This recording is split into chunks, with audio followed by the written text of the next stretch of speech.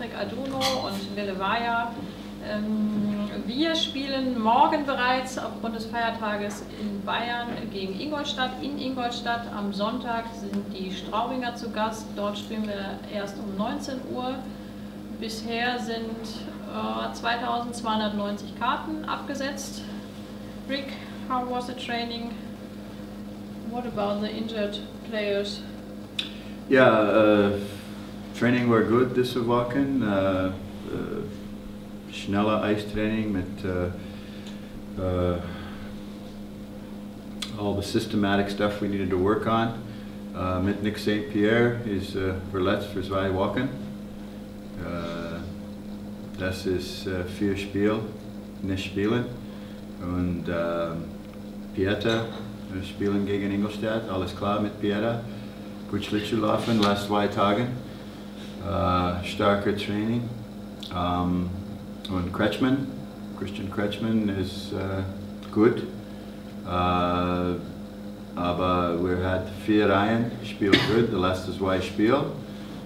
Und uh, Christian uh, spielen für Pietta, das letzte zwei Training, aber heute uh, Christian uh, spielt als Verteidiger. Sieben Verteidiger Training morgen. Und uh, Kretschmann uh, war guter Verteidiger. Uh, last year gegen Denmark in uh, the Champions League. So uh, yeah, uh, and uh, uh, everything we worked on, I still think the Einstellung is sehr good. All- alle Spieler froh. Um, aber we really explain to them, and I don't want them to be nervous, but we know the situation that we're in. We know the situation we're in. I told them not to be scoreboard watching, try not to look at the standings, uh, just play one game at a time, and let's try and win one game at a time. So that you're not thinking about five different teams that are possibly fighting for that last spot. And that's important. But we still, practice has been great, but we still need to be, we still need to be quicker. We need to move the puck quicker. Uh, It's been a pretty good start for us with the four games we've played. But to be a number one team in the DEL, everything has to be quicker, harder, stronger, score more goals. Defensive, we've been very good for four games. And that's, that is Überraschung for Ish because uh, normally when you come in and take a team over the defensive play, needs to be restructured and worked on. But, and we did restructure some things. There's no question. We restructured, we changed the whole defensive scheme. And so, so far it's worked and I hope it can still work. Not saying there was anything wrong with the old scheme, teams play that way. Just the way I feel that Krefeld needed to play. And uh, it's the way I coach.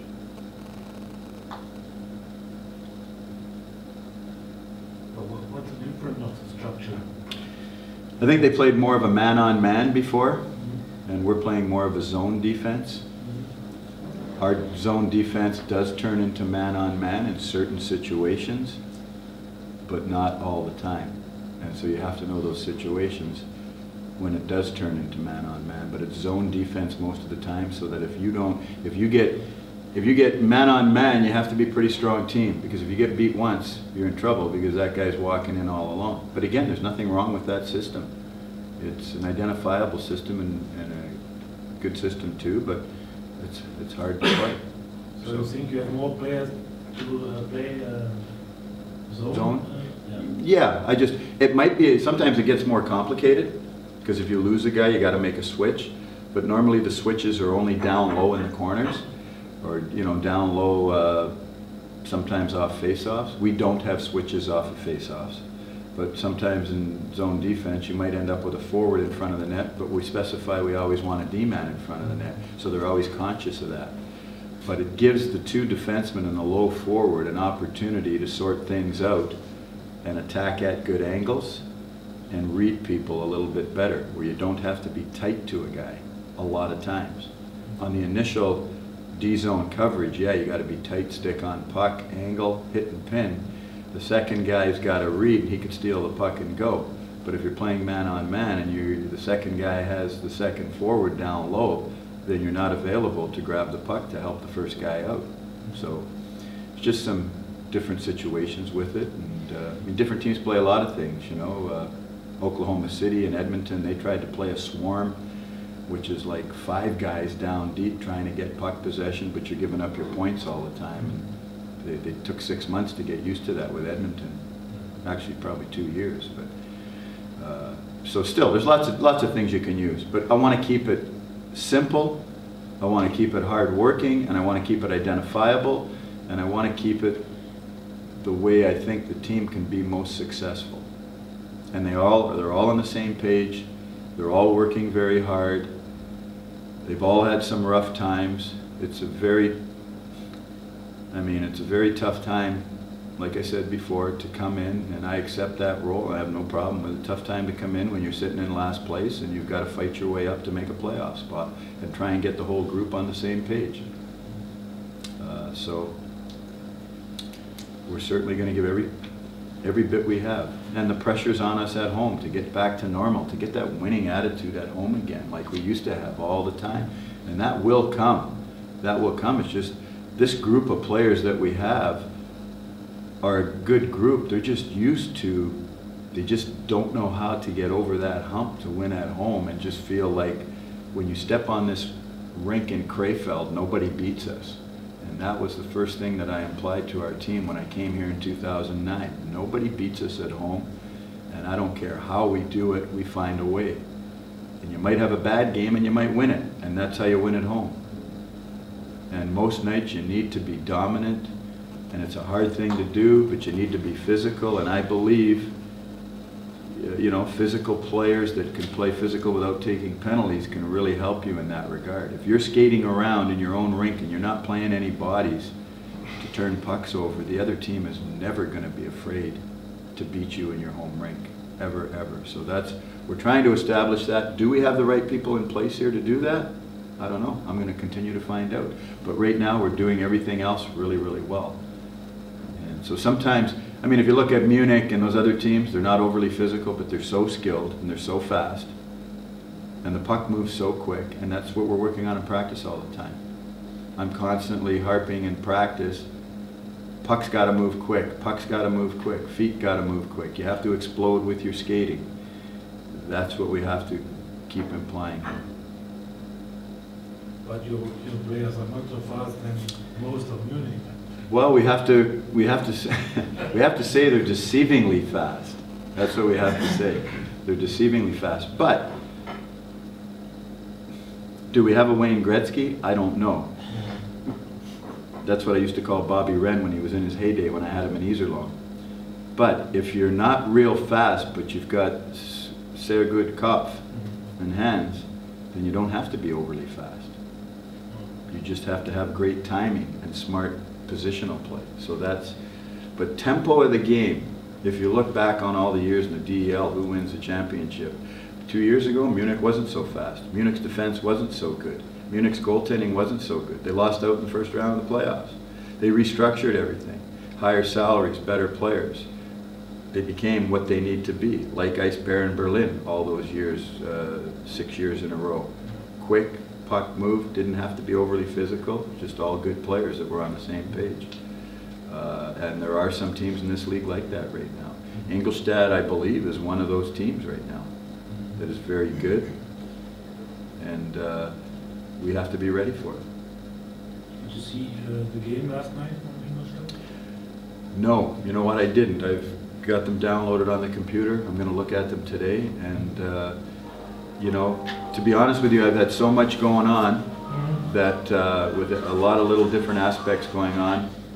Uh, and then moving out of this rink over to the other rink and having no internet and um, just trying to keep in touch with things. Uh, it wasn't a priority that I needed to look at Ingolstadt's game last night. It's all I can look at it today and really analyze it. But I, again, myself, if I know teams are playing, I'm just trying to focus on the Krefeld Penguins and what we do, and then I'll pick apart the other team, what they do, and show it on video, and we'll hopefully generate success from that. Once things get a little more settled, I can, I can spend more time uh, watching the games on telecom and stuff like that. But first you have to get food in your apartment, you have to get cable, you have to get phone, you have to get all that stuff, so. And then we got kicked out of here, so we didn't have any of that, so. But I- you know what? I'm, I'm surprised how well things have gone since I've come and how quickly we had to get things going, uh, just to not even think about anything and go. So I feel really good about everything we've accomplished. I didn't even know who Philly was. I had no idea. We met my first day here, and so far everything has ran very smooth.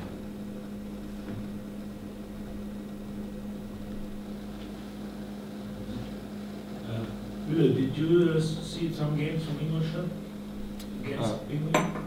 No, The usually, in No. uh, usually at the home games when they were going on, I was at the same time with the DNL in training. Yeah, yeah. So, uh, so maybe last 10, last five minutes, and Mm. I don't think that's enough time to analyze any of the games. I think I know, I, I think I know Ingolstadt well enough, Shoppy, with Greilinger, with Buck, Yeah. with Tadachuk, with their defense, with uh, their goaltender. I know them very, very well, you know, I just have to pick apart some of the small things they do on video, so we're well aware of that. And, uh, you know, they, they do move the puck good, they got great one-timers, their power plays work good low, they work good high. Uh, We need to catch them off guard, just outworking them. Uh, they came very hard the uh, first period against them, right? Yeah, so I mean, you know, that's the thing, Nuremberg's a good team too. And they're gonna come hard against us, nobody's gonna go easy on us. Here, here's the scenario, everybody thinks Krefeld's a pushover. And that's what I don't like. And I've told our team, we have to create that identity all over again now. That identity has to be recreated. And again, it's up to your leadership, it's my responsibility, it's leadership responsibility, it's player responsibility to create identity that you come to the rink every day, you know the Krefeld Penguins are hard to beat. You know they're hard to beat on the road and they're hard to beat in their own building. And that's what we have to do. It doesn't have to be talked about, it has to be established in practice and in the game so people know. And I remember it took, when I first came in 2009, we were lucky. We, we got it going right away. People respected us because of our work ethic, and we carried it on. And we just carried it on, and that was when I recruited players to play here. I would always tell them, you're not coming here for a party, you're coming here to earn your money, and if you're not getting it done at training camp, you won't be here. And that's how we always recruited players, and told them that if they, again, that's a hard thing with Krefeld, because again, our budget, and I would always tell them, if we can't pay you the money that you feel you, you earn once you prove yourself, then we, we- we're happy to let you go if that's the way it is, unless we increase our budget. So that was always a, it was always a, a little carrot we'd give the players we recruit, come here, we'll make you better, you do well, you can move on. But I put my foot in my mouth way too many times because we lose Vokes, you lose Clark, you lose those guys. But you know what? Those are the guys that say, hey, to other people, you want your chance in the DEL? Go play for Krefeld. You'll get your chance. And you prove yourself. And we've established ourselves like that. We've got to continue to do it. Rick, can you please say some words about Straubing, our next home? You know, Straubing's a different team too. They, they, you know, again, I'll have to look at their video and I'll start doing it, but Larry Mitchell plays kind of a, they play a real good offensive push game when they get the puck. But then when they're defensive, they would play a 1-3-1 defensively last year when I played them, which is tough to break in the neutral zone, so we'll have to come up with a way to beat that. But they play pretty structured defensively and they're very good offensively. They've got some good players offensively. And the thing about Straubing is Climie, the goaltender, and I believe Pätzold has played well for them too this year. So they've got two good goaltenders, but when Climie gets hot, he's really tough to beat. And I know he carried them to the playoffs last year. And even when I spoke with Larry Mitchell and Jason Dunham when we were scouting in the summertime, or in uh, April last year, they told me how without Climie they would have never made the playoffs. He just got hot and he played unbelievable. And that's what we need. I mean, it's not putting pressure on our goalies, That's what we need. But if we do our job and keep our shots under 25, it doesn't put a lot of pressure on our goalies. Coming to the shots under 25, I mean, especially against Cologne, it was, I think they had some mid 30s shots. Uh, so statistically, it was not successful, but those shots were almost entirely perimeter shots, so Right. no quality shots. Was that on purpose, or were you unsatisfied with the, the count of shots? With our shots for or their shots against us? Their shots against you. Right, and we look at them between periods, and we were pleased, Billy and I, because the shots were from the perimeter. And when we're keeping shots to the outside, per our back pressure, then it's a good thing. You just have to be aware of middle slots of deflections. And so when they're coming from the outside, and sometimes, sometimes we've played teams and they've had, you look, it looks like a box sometimes with a ton of shots, especially if you killed a lot of penalties, but they're all from the outside. So that's a good thing. And if you get 35 shots against, but they're from the outside, then you're still doing a good job as a team. It's when you're getting rebounds after rebound in front of your own net, then you gotta, you really gotta bear down. So statistically, the last four games, it's been really good, uh, the way that we've defended and the way that we've kept our shot count down. Again, it gives the goalies, they believe in their players. When goalies believe in their players, it's easier to play. When goalies are nervous about their defensemen and their players, it's tough to play. The other team's getting scoring opportunities and, and then everything starts to break down.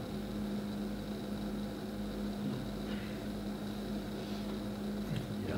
One of the scoring opportunities that you've just mentioned is certainly that, uh, the one that uh, there is a a lucky bounce or there's a rebound from the goalie that he can't do otherwise. And um, one gets the impression that uh, also the big teams like Mannheim and Munich, they have no problem if there is such a situation, they take the puck and just hit it out of the, of the zone and if it is an icing, okay, it's, a, it's an icing. Uh, with Krefeld, in the past, you always had the idea they want to secure the puck, they want to look, and they want to start a counter-attack immediately, which results in their losing the puck very often in their own zone, and then you get you get you get goals. Are you instilling more of a of a uh, a feeling Yeah. of liberty in them that they are free to get the puck out by any means? Just get it out and safely out. Well, that, and, and yes, we have. We've worked on that, and that's helped us the last four games. We've worked on it. I want the guys to play a puck possession game, as everybody says. There are times, specific areas, the puck has to go deep, the puck in your own defensive zone, and then, and then this is something that we've worked on. Our deep neutral zone counters, we're gonna continue to work on that, where the puck has to go. That's the top edges of our circles or the top edges of our dots. We want that puck going up right away. We want the puck going up quick. Uh, We've got certain movements uh, out of the neutral zone on the counters. We want the puck up quick, either deflected, one-touch passes, puck moving quick. Again, it's all the ability of each individual that you have, but we're still trying to make them all better. In the deep in the defensive zone, yeah, you want to rotate the puck as quick as you can, side to side in your own defensive zone to eliminate the forecheck. And you have to have three people deep. And we've worked on that with our certain structure as to how to come out of the defensive zone to elude pressure. And it has worked against Cologne and it's worked against Munich, but where we've been a little bit, and again, the word unlucky, okay, you, you, you know, um, you can only be unlucky so much. Uh, we need to be the lucky way where the goalie's making, we don't want it to happen, but we need the goalie to make two or three saves sometimes, where we've coughed up the puck. That's what happens with the other teams. Like Munich, they win games because of aus den Birken, and they win games because of uh, the other goalie that played in the American League. They've got two great goalies. Teams that have two great goalies, they, uh, and I believe we have that in Krefeld.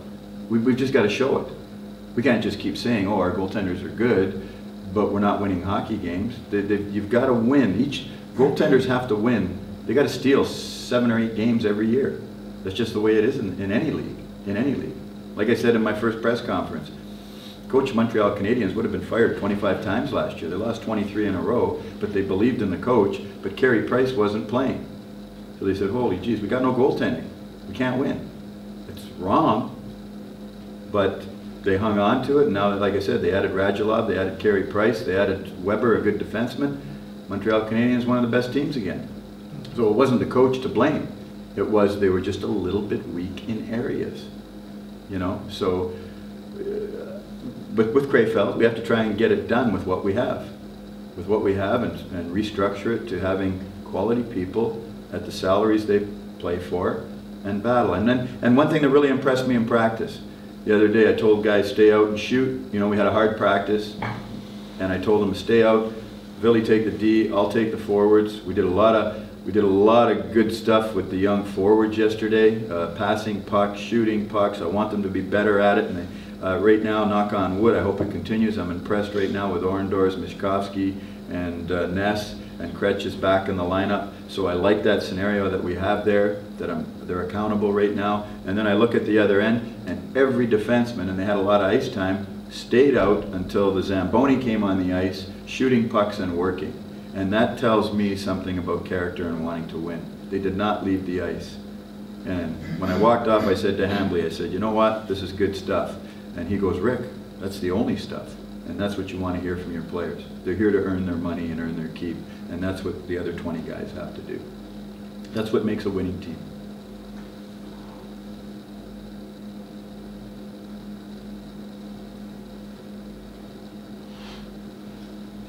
I think we must come to an end because the bus is waiting for you. Yeah, I did tell the players we were supposed to leave at 12:15, but I said, trust me, it'll be more like 12:45 by the time we get all organized and everything, and that's not a problem because we need to make time for everything. So all is good. Thank you. See you on Sunday. Goodbye. Okay.